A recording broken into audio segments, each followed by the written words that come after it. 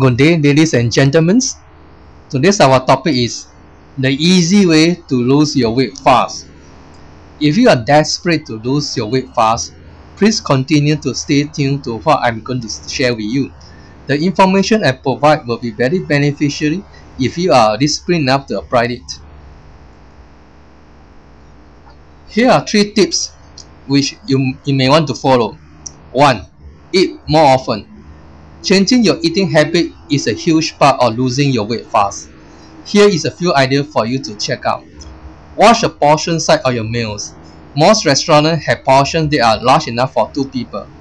Try eating 5 to 6 smaller meals per day, which will keep your metabolism high, and this will make it easier for your body to burn calories.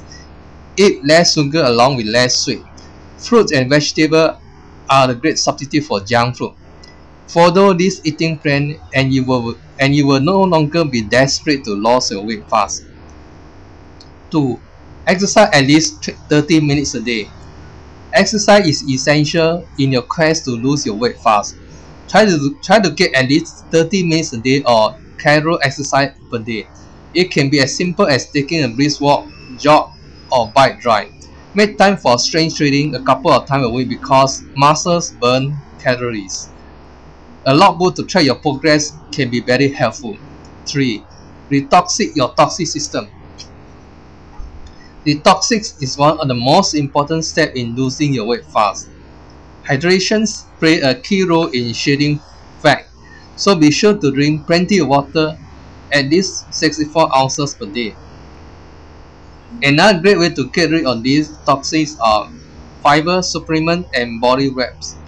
I highly recommend using these items to cleanse your system of impurity and allow your system to function as God intended. If you follow the advice I share with you, I can assure you you will have a slim and healthy body which everyone will envy. Thank you. That's the end of our topic today. See you tomorrow and have a good day ahead.